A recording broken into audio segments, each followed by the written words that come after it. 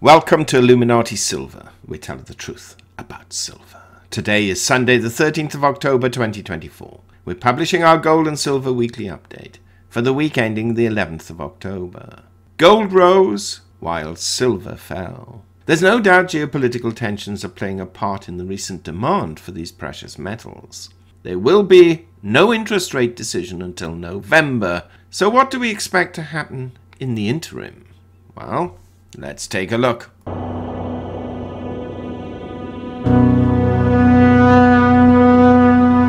Now first, just a quick reminder, we've set up a second channel entitled Finances Do Matter, covering a whole array of financial topics. We've placed a link in the description box and comment section below for those who've not as yet joined that channel. Now let's look at precious metals. Gold rose $3 last week, rising from $2,654 to 2,657, having been as high as 2,661 and as low as 2,605, a rise of just 0.1%. Gold spread between high and low was just $56. Last weekend, we said gold would trade between 2,600 and 2,700, which it did very comfortably. In sterling terms, gold was up 13 pounds closing at £2,037. And in euros, it closed up 10 euros at 2,431 euros. Silver fell 40 cents, falling from 32.28 to $31.88, having hit a high of 32.41 and a low of $30.16. It was looking a little hairy then, a fall of 1.2%. The difference between its high and low was $2.25.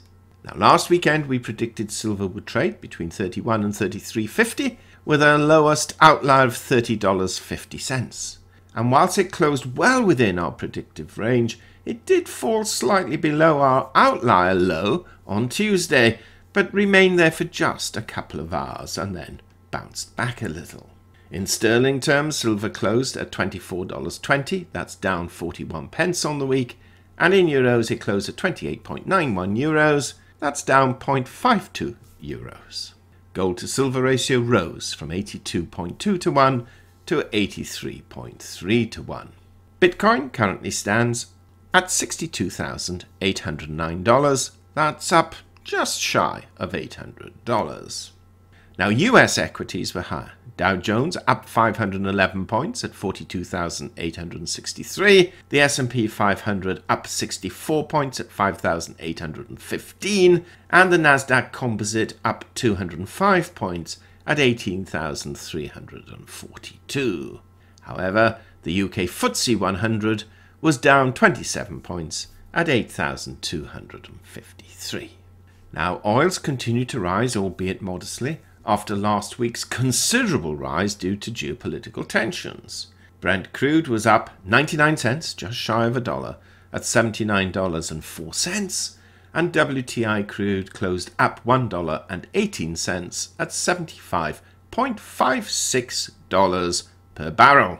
Dollar index was also up 0.37 at 102.89.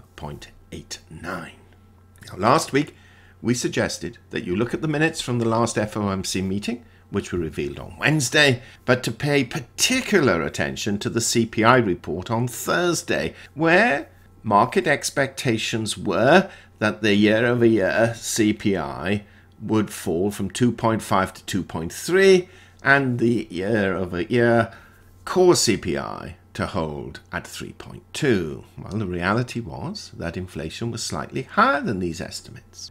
The reality is that the year over year CPI came in at 2.4 and the core CPI at 3.3.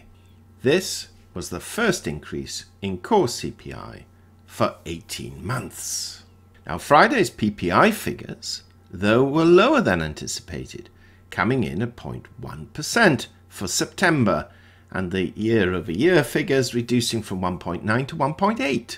The PPI appears to confirm inflation is still fairly low and stable, and analysts argue that US wholesale prices point to subdued inflation in the economy, suggesting that the larger than expected increase in consumer prices is unlikely to last. We could see that the gold and silver price began rising on Friday and continued that rise after the PPI figures were announced.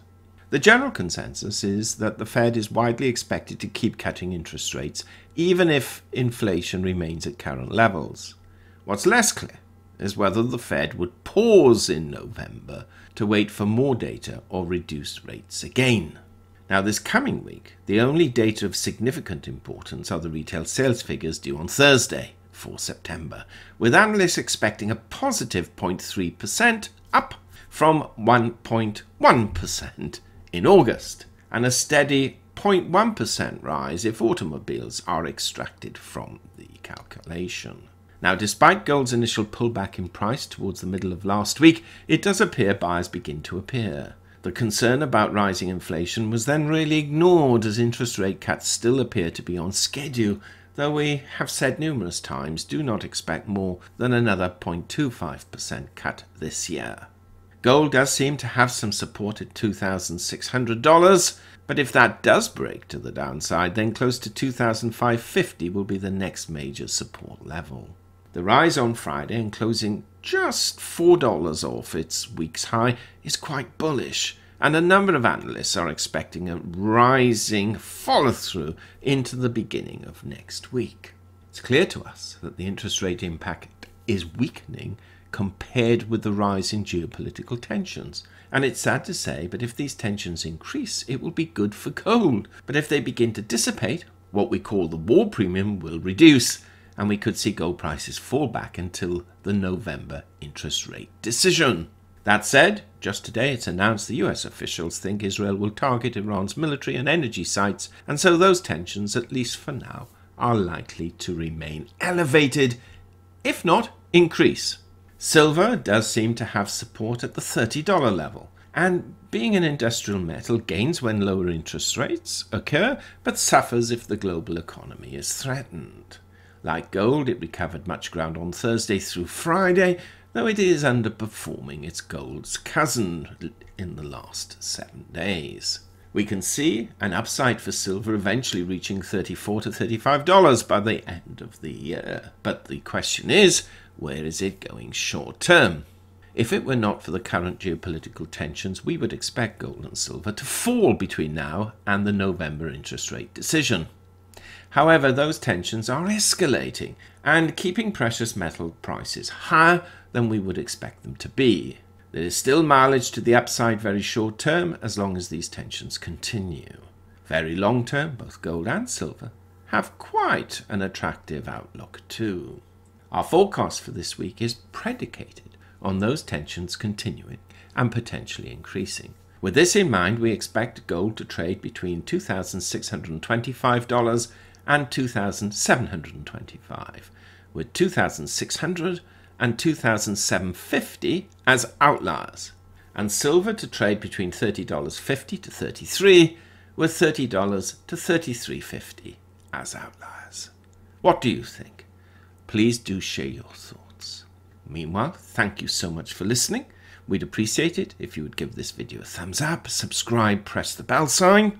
Pop on over to Finances Do Matter and subscribe there. Have a great week ahead, but as we've said, watch out perhaps for retail sales. Otherwise, it's all geopolitics.